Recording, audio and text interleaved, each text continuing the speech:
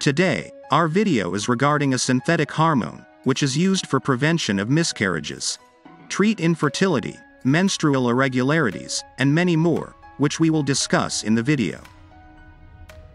The medicine which we are talking about is Duphaston. We will discuss all about this medicine, its uses, its dose, and side effect. But before start of video, we will inform that video is only for information purpose. Don't use by yourself, and always use under doctor recommendation. Duphaston tablet contain ingredient called dydrogesterone. Dydrogesterone is a synthetic hormone that works similar to progesterone, which is a female hormone and plays very important role in females.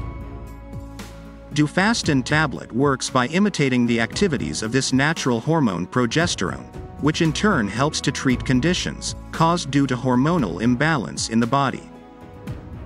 Let's see the medicinal benefits of this tablet. Duphaston is used for the prevention of threatened and habitual miscarriages. It increases the chances of a successful pregnancy in women who have a history of recurrent abortions. It works by preparing the womb lining for pregnancy. Usually, doctor will recommend to start the dose before you conceive pregnancy.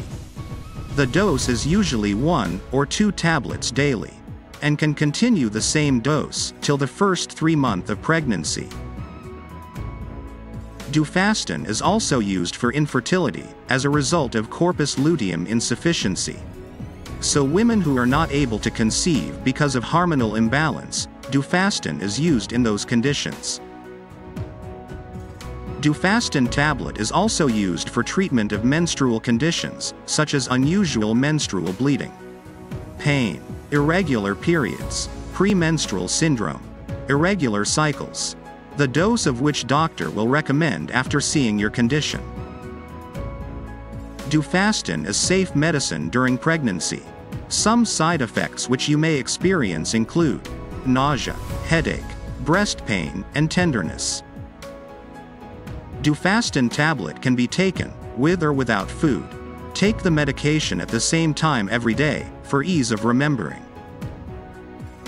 It is not recommended for use while breastfeeding, due to the lack of safety information. If you have any question or suggestion, just drop below, we will answer that.